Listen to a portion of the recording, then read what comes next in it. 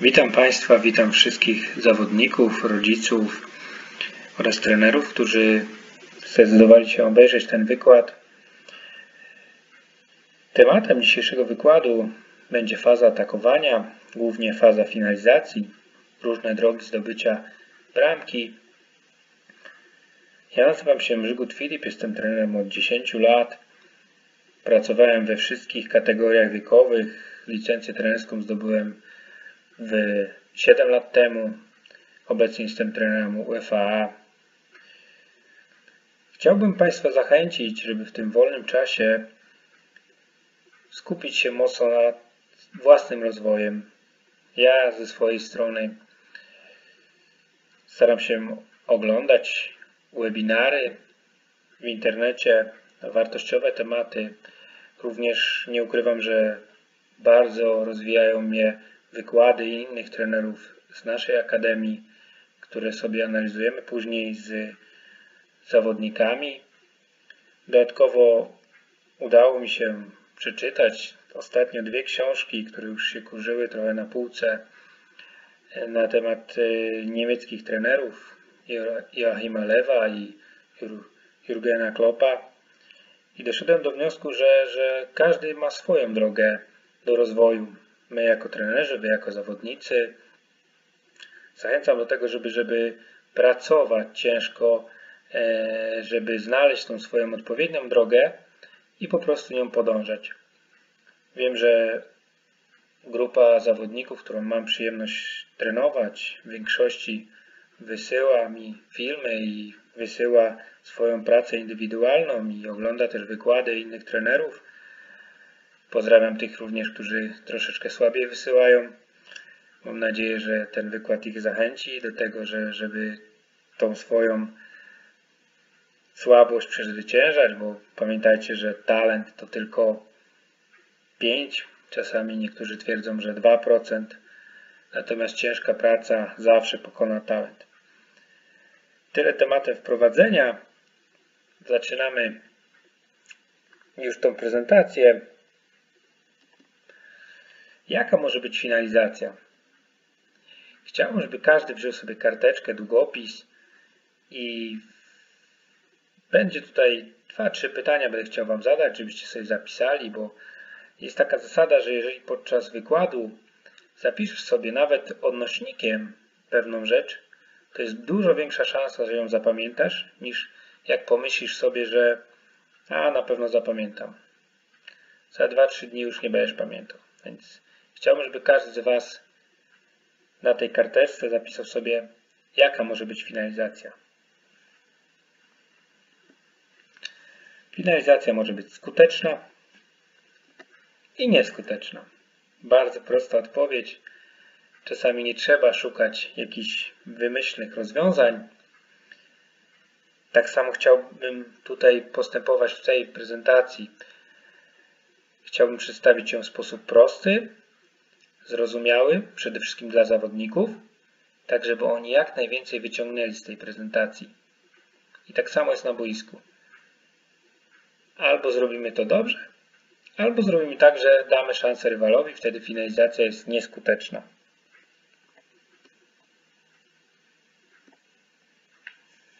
Rodzaje ataku. Opisujemy sobie atak, bo wiadomo, finalizacja jest jedną ze składników ataku.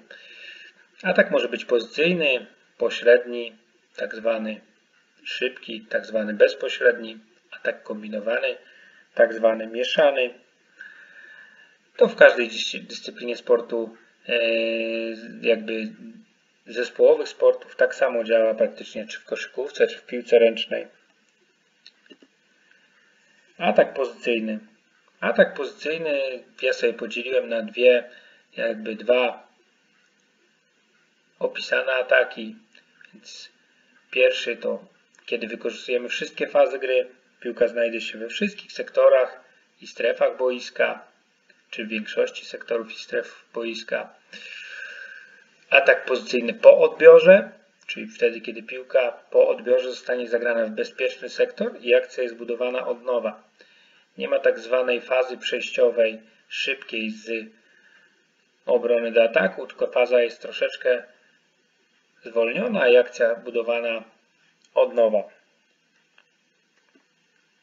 Atak szybki, kiedy wykreujemy sobie przestrzeń do podania za plecy i następuje atak e, naszego napastnika czy skrzydłowego, atak pleców rywala i staramy się bezpośrednio mu zagrać tą piłkę na wolne pole. Taki atak sobie, wyróżnił, sobie wyróżniłem i atak po odbiorze piłki. E, po odbiorze piłki ważna jest pierwsza piłka dokładna, a najpóźniej druga w przód. Fundamenty finalizacji fasek. Chciałbym, żeby każdy z Was tutaj zastanowił się, szczególnie zawodników, na co Wasi trenerzy zwracają największą uwagę podczas finalizacji. Jest to element bardzo kreatywny, więc tutaj nie będzie e, nikt Wam jakby narzucał łańcuchów, bo to macie być zawodnikami kreatywnymi, macie sami szukać rozwiązań, natomiast pewne kanony musicie znać. I u nas te kanony wyglądają w sposób następujący. Szybka gra, czyli ograniczamy liczbę kontaktów, dystrybucja pola karnego, zajmujemy określone miejsca w polu karnym przeciwnika. Jest to pierwszy słupek, zwykle zajmowany przez zawodnika znajdującego się na pozycji numer 9. Jest to piłka wycofana, zwykle zajmuje, zajmuje tą pozycję e, pozycja wycofana. Zwykle zajmuje tą pozycję zawodnik z numerem 8, 10 i pozycja na drugim słupku, czyli zwykle zajmuje ją skrzydłowy, który nie dośrodkowuje. Jeżeli akcja jest z prawej strony, jest to lewy skrzydłowy, czyli nasza jedenastka. Jeżeli akcja jest z lewej strony, jest to prawy skrzydłowy, czyli nasza siódemka. Powiedziałem tutaj zwykle, ponieważ oczywiście na pozycjach bywamy, tak, a nie jesteśmy do nich przy, przywiązani, bo dzisiaj nowoczesny futbol polega na tym, że jest bardzo duża wymienność pozycji. Więc jeżeli ja jestem na przykład bocznym obrońcą, a znajdę się na pozycji skrzydłowego, to muszę wiedzieć, że moim zadaniem jest zamknąć akcję na drugim słupku. No i fundament finalizacji w fase trzeci, gra 1 na 1, osobiście jeden z moich ulubionych fundamentów. W jaki sposób, sposób można zakończyć akcję? I tutaj chciałbym również, żebyście sobie zapisali, jak, jak wy, trzy sposoby, jaki często kończycie akcję. Dlaczego często? Bo tutaj bardzo ważna jest powtarzalność. Znamy, każdy zna takich zawodników jak Messi, Lewandowski czy Ronaldo, którzy na topie są już kilka lat, dlatego że robią pewne rzeczy powtarzalnie. Nie strzelają po 7-8 bramek, strzelają po 30-40. Tak? I tutaj chciałbym, żebyście wy wpisali trzy, trzy swoje powtarzalne zachowania z finalizacji. Tak? Ja sobie wybrałem rozwinięcie, czyli to, co się dzieje bezpośrednio przed finalizacją i samą finalizację, czyli szczał. Jest tego trochę. Tutaj przeanalizujemy sobie przykład rozwinięcia z finalizacją na podstawie sześciu takich, sześciu takich przykładów. Pierwszym z nich będzie strzał po grze 1 na 1, tak? Drugim strzał po zagraniu pomiędzy obrońcami. Trzecim strzał po zdobyciu pleców rywala. Czwartym strzał po odbiorze piłki piątym strzał po załamaniu, złamaniu obrońcy do środka. I ostatnia niespodzianka. Tutaj na czarno jest element finalizacji, a na czerwono jest element rozwinięcia przed finalizacją, czyli co następuje bezpośrednio już przed samą finalizacją. I tutaj żeby sfinalizować, trzeba zbudować, czyli w myśl tego, jak chcemy Was rozwijać, nie chcemy tutaj pomijać pewnych faz gry, chcemy, chcemy wszystkie fazy akcentować, więc, więc tutaj znajdziecie na, na filmie, większe, na większości filmów e, dużą ilość tych faz, fazy otwarcia czy fazy budowania, e, żebyście wiedzieli, że piłka nożna jest procesem łączonym, tak? To nie jest tak, że coś jest wyizolowane. Zawsze mój jeden z trenerów powtarzał mi, że Piłka nożna działa w podobny sposób jak przyszkowanie śniadania. Jeżeli sobie przygotuję dobrą kanapkę, to się najem. Natomiast jeżeli przygotuję sobie byle jak kanapkę, no to się nie daje. Żeby sfinalizować akcję, trzeba sobie ją zbudować albo spresować, czyli albo odebrać piłkę przeciwnikowi i wykorzystać jego słabą organizację w obronie. I przechodzimy już do clue mojej prezentacji, czyli do takich do filmów, które pokażą te wszystkie rzeczy, o których ja tutaj mówiłem, tak? Czyli rozwinięcie i sam moment finalizacji. Pierwszy przykład finalizacji ataku nastąpi po grze 1 na 1. Będziemy działali tutaj na następującej zasadzie. Pierwszy film zawsze będzie dotyczył meczu międzynarodowego, a kolejne dwa filmy będą na przykładzie zagrań zawodników U15, których mam przyjemność od blisko dwóch lat już trenować. Pierwszy mecz Szwajcaria-Polska 1-8 Mistrzostw Europy 2016. Każdy wiemy jaki to był mecz. Bramka Jakuba Błaszczykowskiego, która została zdobyta po e, akcji 1 na 1 Kamila Grosickiego. Tutaj film włączyłem nieco wcześniej z uwagi na to, że chciałbym zwrócić, yy, zwrócić uwagę na, na kontrę zespołu polskiego, jak ona została całkowicie rozprowadzona. Kontrę po stałym fragmencie gry. Nie ukrywam też, że chciałbym, żeby mój zespół również w ten sposób co najmniej raz bądź dwa razy w meczu wykonał tak akcję. Rozpoczynamy.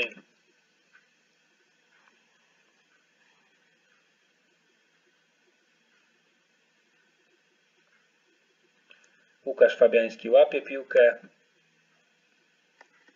Przepraszam. Łukasz Fabiański łapie piłkę.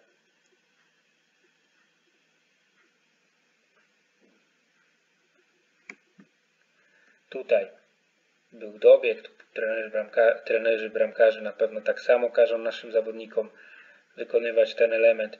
Dobieg złapanie szerokości przez skrzydłowego do kontry. Zobaczcie, raz, dwa, trzy i cztery.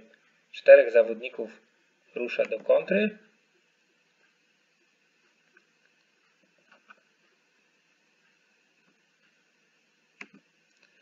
Kamil Grosicki, odwaga, tak? Jest, został nawet potrojony, podwojony, ale on jest odważny, jest pewny siebie. Gra jeden na jeden z chęcią zdobycia, biegnięcie w pole, w pole karne, tak? Element dystrybucji pola karnego zaraz nastąpi. Arkadiusz Milik ściągnie zawodnika, żeby stworzyć miejsce dla Kuby Błaszczykowskiego. Mamy 1 na 1 szczęśliwie wygrane. Przepuszczenie piłki, finalizacja po krótkim słupku. I Polska objęła prowadzenie w tym meczu.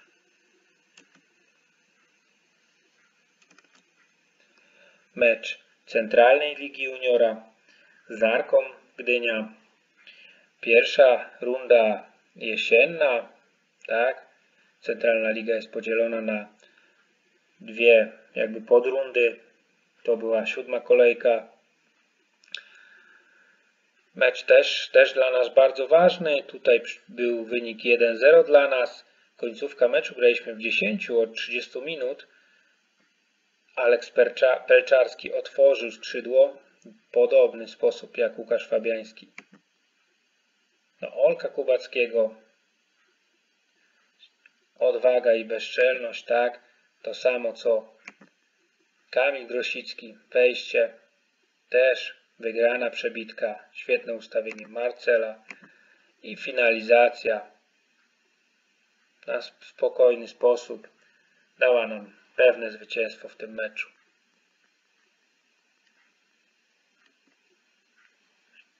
Kolejny mecz analizowany z Żakami Szczecin, zespół mistrza Ligi Wojewódzkiej Trampkarza Starszego przed, przed rozgrywkami Centralnej Ligi Juniora przed y, już rundą wiosenną. Rozegraliśmy sparring. Akcja tutaj całego zespołu w ataku pozycyjnym. Również zakończona finalizacją po grze 1 na 1. Mamy zmianę ciężaru gry, ponieważ drużyna przeciwnika zamknęła ten sektor.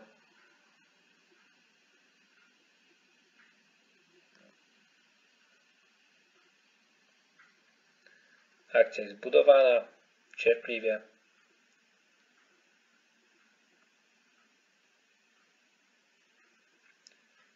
Stoper wprowadza w piłkę tutaj, zawodnik wyszedł na pozycję, natomiast był w pozycji zamkniętej, zabrakło troszeczkę skanu boiska, musiał zmienić stronę, ale spowodowało to, że przeciwnik musiał pokonać. Tutaj była struktura zachowana. Patryk zagrywał do Marcela, Marcel w tył. Opcja w prawą stronę była wyjście na pozycję. Wszystko zgodnie z kanonami budowania fase. Akcja po trójkącie. Tu jest zmiana sektoru boiska. Zobaczcie ile zawodników zostało zgubionych przeciwnika.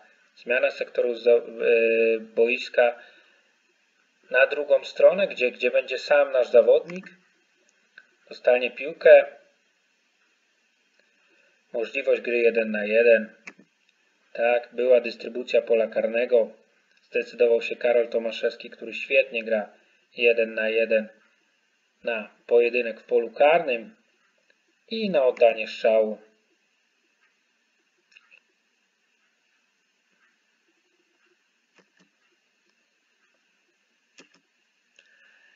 Kolejny przykład finalizacji, jaki chciałbym Państwu przedstawić, to jest finalizacja po zagraniu pomiędzy e, obrońców. I również zaczniemy sobie od przykładu tutaj ataku bezpośredniego. Skorzystałem z materiałów pana trenera Pawła Słomy, który, który przygotował e, analizę z ostatniego meczu, który tak naprawdę ostatniego wielkiego meczu, który mieliśmy okazję oglądać przed zawieszeniem z wiadomych przyczyn rozgrywek. E, Atletico, Liverpool, Liverpool grający w sposób ofensywny, w sposób e, bardziej wykorzystując atak pozycyjny, Atletico atakowanie bezpośrednie, tak, szukanie właśnie piłek pomiędzy obrońcami. No i przejdziemy sobie tutaj do akcji na międzynarodowym poziomie. Zobaczcie, to jest początek meczu, rozpoczęcie. Ta akcja na pewno była trenowana przez zespół Atletico. Zobaczcie.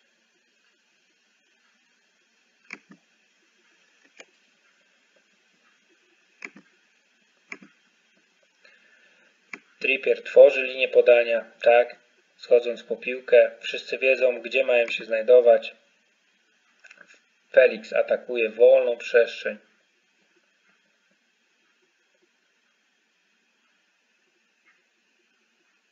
Przyjęcie kierunkowe, przygotowanie do podania. I następuje tutaj Costa zdobywa przewagę pozycyjną, tak, nad y, Trentem Aleksandrem Arnoldem, błąd Virgila van Dijk'a, który złamał linię. Atakuje plecy rywala, piłka pomiędzy obrońcami. I tu niestety nastąpiło złe przyjęcie piłki które wyrzuciło go za światło bramki. I strzał był niecelny, ale sam ruch napastnika pomiędzy obrońcami oraz samo zagranie klasa światowa. Tutaj mecz Centralnej Ligi Juniora, również z Arką Gdynia. Tu była kolejka 14.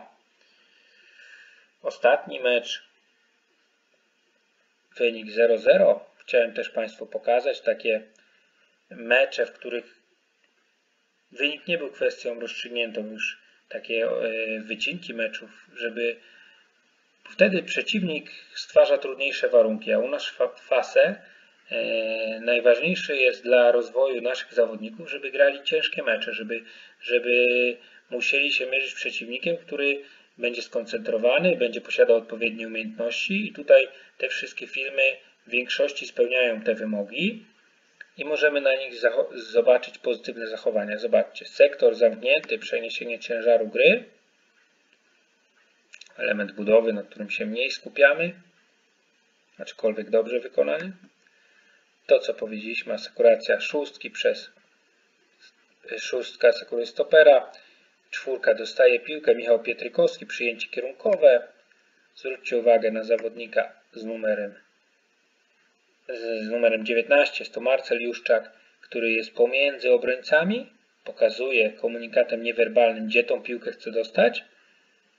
Będzie tutaj jeden z fundamentów fase, czyli ograniczona liczba kontaktów, przyjęcie z pierwszej piłki i strzał również po przyjęciu od razu, bez przekładania, mimo że to była słabsza noga. Strzał wykonany bardzo dobrze. Przyjęcie, strzał, popularna Brazylia czyli od poprzeczki. Kolejny mecz. Mieszko, Gniezno naszym rywalem było. Był to mecz SBG Cup. Półfinał. Drużyna wycofana przeciwnika na całą, no, cała drużyna przeciwnika wycofana na własną połowę.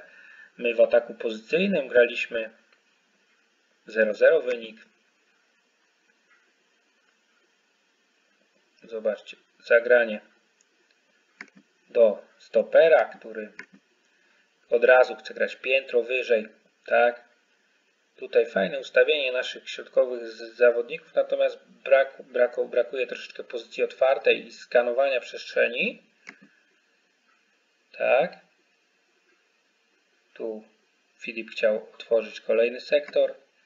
Zostało ponowienie, ponowienie ataku przez Karola Kowalika, który Poszedł za podaniem Filipa. Marcel schodzi do środka i zwróćcie teraz uwagę na najważniejszą rzecz. Zaatakowanie pleców rywala, zagranie pomiędzy obrońcami, komunikat niewerbalny. Michała Walczaka i Marcel również słabszą nogą zagrywa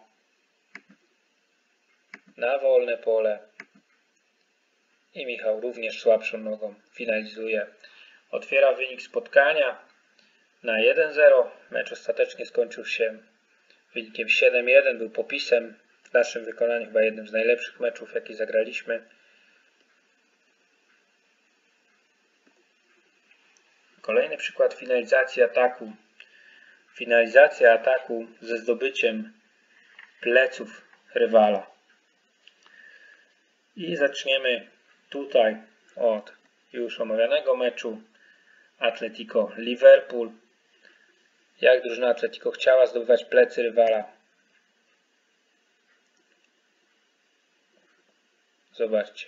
Powrót z pozycji spalonej. To o czym trener Robert Dymkowski ostatnio opowiadał, że napastnicy tak się często ustawiają. Wkleja się w linię obrony i od razu jest piłka na wolne pola z zaatakowaniem pleców rywala. Tu była ta piłka niedokładna, natomiast sam, samo poruszanie się kosty było w odpowiedni sposób robione.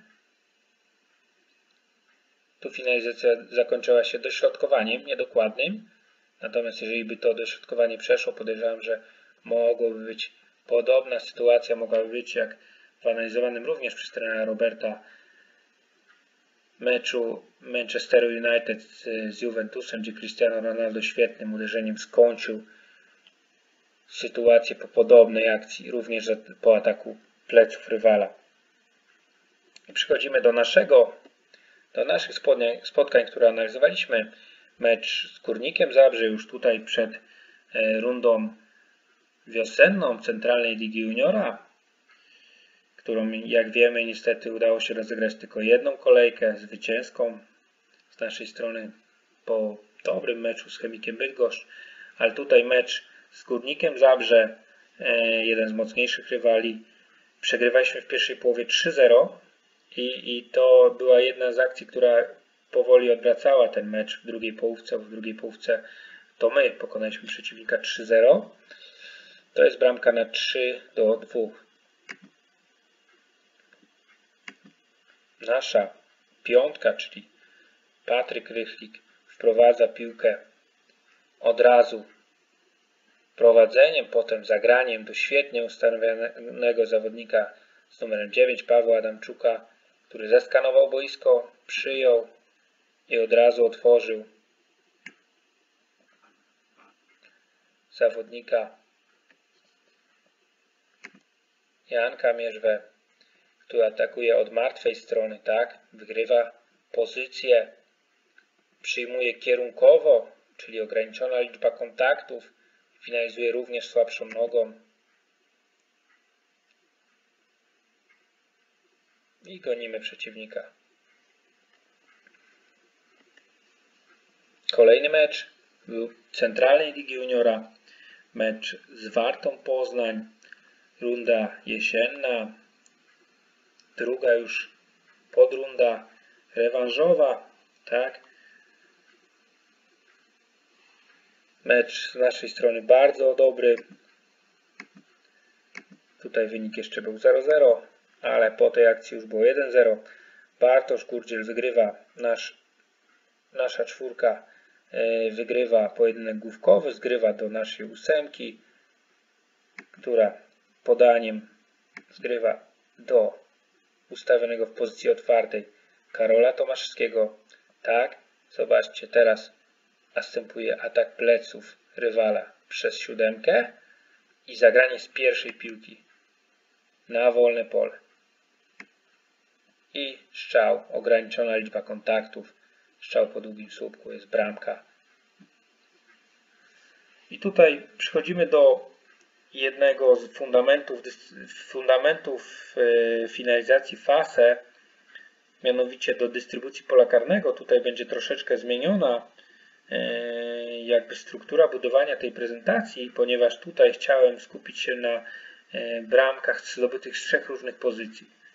Tak jak wcześniej powiedziałem, musimy zająć określone pozycje w polu karnym i tutaj chciałem pokazać bramkę zdobytą przez nas zespół z pierwszego słupka, z piłki tak zwanej wycofanej, czy z odbitej i z zamknięcia.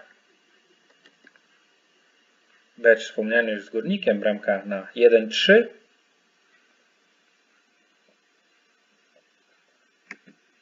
Rzut z autu, nad którym pracujemy również. Marcel otwiera Michała Walczaka. Dystrybucja pola karnego, tak. Tutaj ten zawodnik za chwilkę biegnie na pierwszy słupek ten zawodnik troszeczkę powinien być już bliżej światła bramki, ale on zaraz skoryguje swoją pozycję, a ten zawodnik będzie na piłce wycofanej. Zwróćcie na to uwagę, jak łatwo wtedy strzela się bramki. Jest zagranie, zejście na pierwszy słupek strzał i bramka. Kolejny mecz z Arką, tu też już runda rewanżowa, omawiany wcześniej mecz zakończył się wynikiem 6 do 3 dla naszego zespołu. Strzeliśmy dużo bramek. Odbiór piłki. Przepraszam. Odbiór piłki. Po stałym fragmencie pierwsza piłka dokładna. Druga w przód.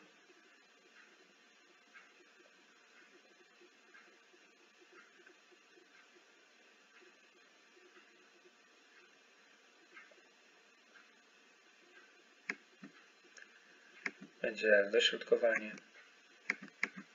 I teraz zobaczcie. Tutaj troszeczkę słupek przeszkadza, ale pierwszy słupek jest za, za, e, zajęty, zamknięcie jest zam, zajęte i przedpole jest za, zajęte i ten zawodnik za chwilkę strzeli bramkę. Dlatego, że był świetnie ustawiony. Oczywiście słabszą nogą. To przypadek, że wybrały się bramki akurat słabszą nogą, natomiast dużo, dużo czasu, fasę pracujemy nad tym, żeby nasi zawodnicy byli kreatywni i posiadali wykończenie z dwóch nóg. Mecz Żakami też już omawiany. Bramka rozpoczęta od Piotra.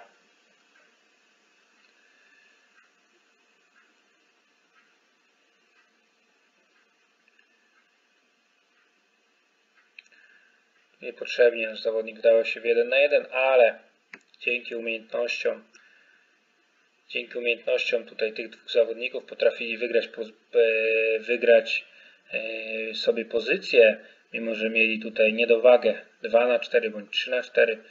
Zwróćcie uwagę na ustawienie siódemki, czyli naszego prawego skrzydłowego, który zszedł pomiędzy obrońców, tworząc przestrzeń dla swojego bocznego obrońcy, ale też, co za chwilę wykorzysta, będąc bliżej bramki przeciwnika i mogąc tą akcję sfinalizować. Zobaczcie tutaj, Marcel wygra pojedynek 1 na 1.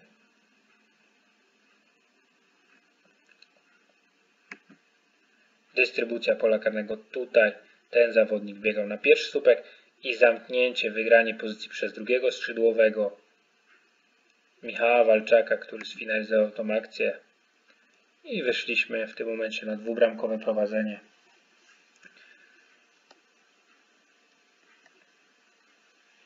Przykłady ataku. Kolejny przykład, taki, który się zdarzał nas ostatnio, zwłaszcza często. E, jest to przykład ataku ze złamaniem obrońcy do środka Zdarza się on częściej z uwagi na to, że, że no dużo czasu poświęcamy na analizy indywidualne e, i rozmawiając z zawodnikami, mamy bardzo szybkich skrzydłowych, natomiast chcemy ich wyposażyć w dodatkowe elementy piłkarskie, które pozwolą się stać jeszcze lepszymi zawodnikami, żeby ja im zawsze powtarzam na przykładzie Odonkora. Oni nigdy nie wiedzą, kto to jest. Ja mówię, wiecie dlaczego nie wiecie? E, kto to jest Odonkor, dlatego że on miał tylko szybkość i nic z tym nie zrobił. Mógł być lepszym zawodnikiem, ale bazował tylko i wyłącznie na swojej szybkości. A my chcemy, żebyście wy potrafili zmieniać tempo biegu, żebyście byli kreatywni, żebyście nie byli tylko zawodnikami, których, których łatwo jest rozszyfrować, bo taki zawodnik znika po jednym, dwóch sezonach. No znika, bo potrafi tylko szybko biegać, każdy wie, że on będzie biegł do linii dośrodkowywał. Więc tutaj chcemy wyposażyć swoich zawodników, to żeby on potrafił, poza tym, że szybko biega, potrafi szybko myśleć i potrafi też, ma w swoim repertuar, repertuarze e, umiejętność złamania obrońcy do środka.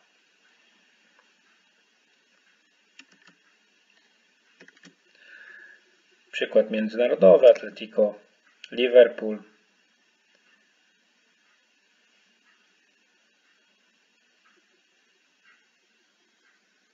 Pierwsze podanie było dokładne, drugie przód, bardzo już przód. Nabranie szerokości. Tak, jeden na jeden z obrońcą, złamanie do środka. Strzał. Tutaj zwrócono uwagę, że Angel Cora mógł być bliżej i wtedy pewnie by strzelił bramkę.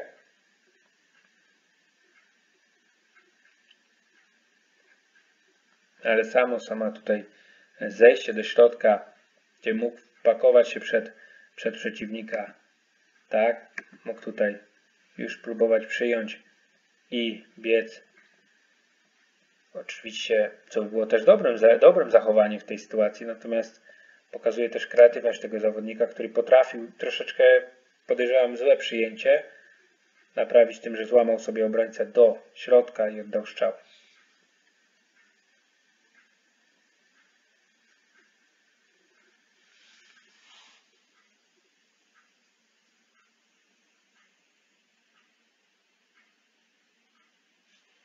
przechodzimy do już naszych przykładów. Mecz Centralnej Ligi Juniora z Pogonią Szczecin. Pierwsza podrunda rundy jesiennej. Yy, ten mecz tutaj bardzo wyrównany był i między innymi podobna akcja w naszym wykonaniu.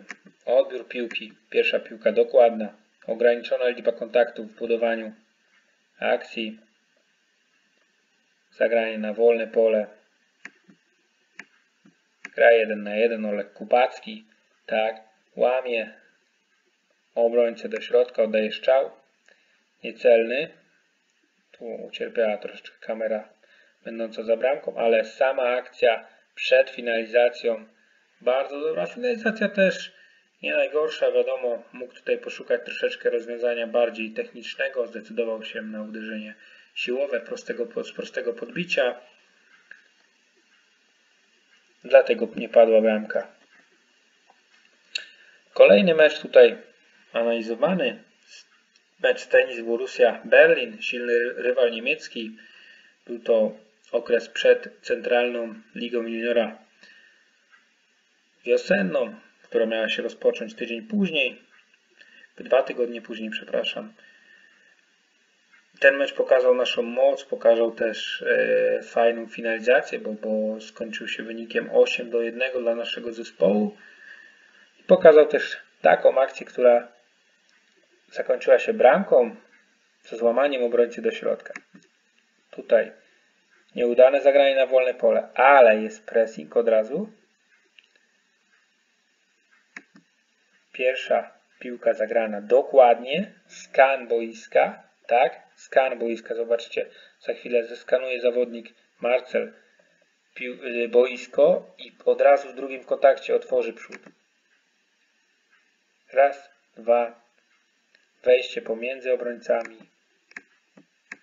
Ograniczona liczba kontaktów. Raz, dwa, trzy, wejście, złamanie do środka obrońcy i bramka od słupka Michała Walczaka darująca nam już wtedy trzybramkowe prowadzenie.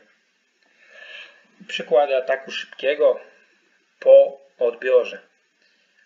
Już tutaj wpisałem ataku szybkiego, bo, bo jeżeli odbieramy piłkę, staramy się wykorzystać e, niezorganizowanie przeciwników i tutaj pokażę to na przykładzie właśnie również meczu Atletico Liverpoolu. Już wtedy zobaczymy sobie finalizację skuteczną, która odwróciła ten mecz który, który, który e,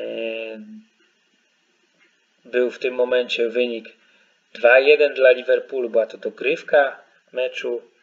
Cała drużyna Atletico cofnięta na, na własną połowę i, i tutaj świetne zachowanie drużyny Simeone w kontrataku. Zwróćcie na to uwagę. Sytuacja 2 na 3 błąd tutaj zespołu Liverpoolu, bo można było śmiało z tej sytuacji wybrnąć. Jorente zbiega w prawy sektor, robi ruch zwodny, reaguje na sytuację, zbiega do środka, dostaje piłkę, ma 1 na 1. Przyjęcie na prowadzenie, strzał, który wielu kibicom, tak jak i mi, zabrał nadzieję na awans Liverpoolu. I teraz nasze przykłady. Zawodnik przeciwnika chce zagrać piłkę do bocznego sektoru. Jest to dla nas sygnał do pressingu, który był nieco spóźniony w tej sytuacji, ale skuteczny ostatecznie. Tutaj przez to, że przepraszam, przez to, że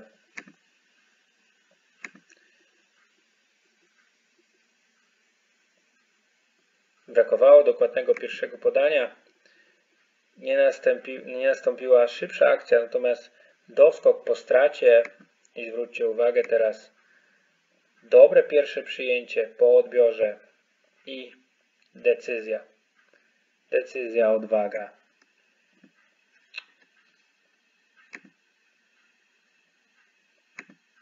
Jeżeli jest odwaga, to często się zbiera takie profity jak ten strzał Stefana Jamońskiego. Zdjął popularną pajęczynkę. To kolejny wycinek z tego meczu. Pierwsza połowa.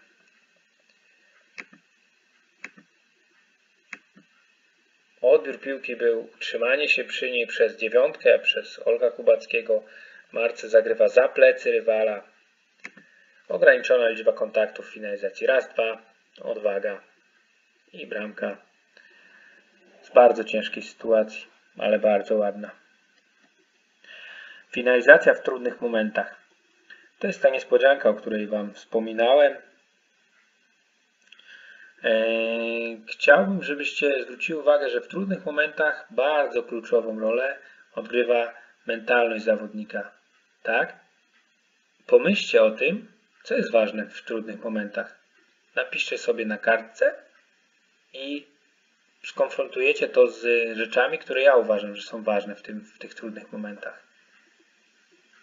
Tutaj od razu powiem, że będziemy mieli trzy przykłady, cztery przykłady. Jeden będzie z piłki ręcznej, finalizacji w trudnych momentach. Zapisaliście? To porównamy sobie. W trudnych momentach ważna jest precyzja, na pewno, według mnie szybkość działania, opanowanie i odwaga. Tutaj skupcie się na głosie, głosie też yy, podczas tego filmu, zwłaszcza trenerzy, jak w takim trudnym momencie, co można przekazać drużynie, bo nie można zbyt wiele, ale można niewiele, a bardzo ważne uwagi, tak jak zrobił tutaj pan Bogdan Wenta, pan trener Bogdan Wenta. Jak prowadzą, jak prowadzą siódmego zawodnika, mają 15 sekund. Jak prowadzą siódmego zawodnika, mają 15 sekund. Przerywać i mamy pustą bramkę. Tylko spokojnie, mamy dużo czasu. Dawaj, gonimy to.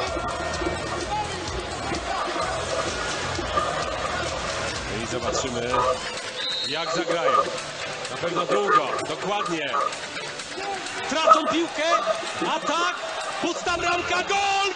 31 do 30 dla Polski! 4 sekundy do końca! Drodzy Państwo, jedna, wygrywamy 31 do 30 i my jesteśmy w półfinale! Ależ fantastycznie to się zakończyło dla tych kap... I teraz zwróćcie uwagę, mecz grupowy, ostat, ostatni między Polską a Norwegią, wynik 30 do 30. Ten wynik dawał awans Niemcom, tak, Niemcom, mimo że oni nie grali w tym meczu. Norwegowie musieli wygrać, my musieliśmy wygrać, żeby awansować do półfinału Mistrzostw Europy. 15 sekund do końca, czyli wiemy ile czasu. Według trenera Wenty bardzo dużo. Norwegowie decydują się na pokerową zagrywkę, wycofują bramkarza. My zauważamy tą zagrywkę. Udaje nam się odzyskać piłkę. I co? 30-40 metrów do bramki. Decyzja o rzucie. Bramka. Jak to mówi pan Artur Siódmek, ktoś musiał zostać bohaterem. Udało się dzięki precyzji, szybkości działania, opanowaniu i odwadze. Dzień później, taka anegdota, wracają e, zawodnicy do treningu, no i podpuścili Artura, żeby rzucił na bramkę z 30-40 metrów, tak jak miało to mecz e, miejsce dzień wcześniej. Dobra, chłopaki, rzucę. Rzucę raz, drugi, trzeci. Nie trafił ani razu. Wszyscy nagle pobledli. Mówią, kurczę, mogło nas tu nie być już w tym półfinale.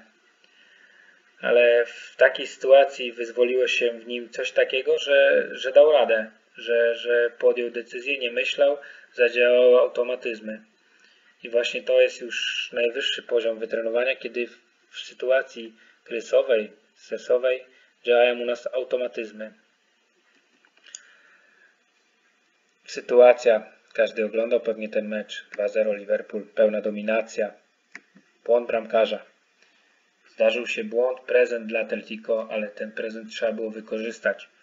Zwróćcie uwagę, jak oni to zrobili. Powrót z pozycji spalonej, rentę, to o czym trener Dymkowski wspominał. Hop. Komunikacja niewerbalna, przyjęcie kierunkowe, bramkarz nie odbudował pozycji, strzał techniczny z 20 metrów. I 2 do 1. Liverpool z faworyta wyleciał z rozgrywek. Podobna sytuacja u nas, u nas mecz Pogoń Fase, mecz o dużym ciężarze gatunkowym, zwłaszcza dla drużyny Pogoni, która w tym momencie walczyła o utrzymanie Centralnej Ligi Juniora. Niestety tutaj było widać, że, że, że chłopcy w Pogoni podeszli troszeczkę lepiej mentalnie niż my. Mecz nam się nie układał, przegrywaliśmy 1-0 i nastąpiła taka oto sytuacja. Nasz stoper wygrywa głowę. jest zagranie do środka, zaatakowanie pleców rywala. Bramkarz zdecyduje się na wyjście. Błąd.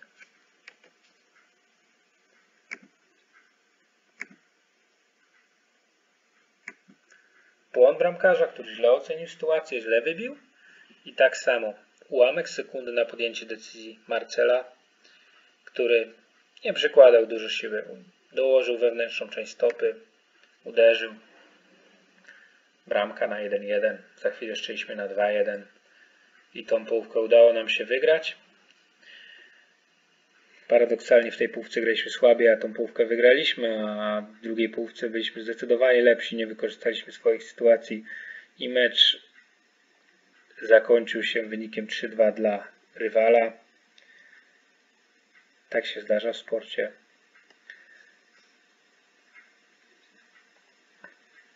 Mecz Pogoń Fase, pierwsza runda. Centralna Liga Juniora również. Runda jesienna. Pierwsza podrunda.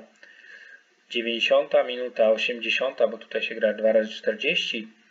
Ostatnia akcja meczu tak naprawdę 1-0 drużyna Pogoni prowadzi. Nasza drużyna konsekwentnie buduje swoje akcje. 7-8 zrobił rotację. 1 na 1. Tu chwilę cofniemy.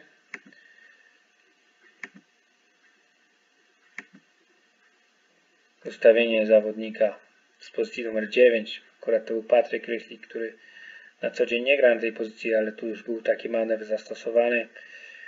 Na koniec meczu wejście pomiędzy obrońców, świetne dośrodkowanie. I bramka na 1, 1.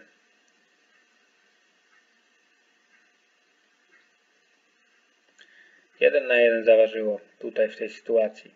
Z prawej strony Janka Mierzwy.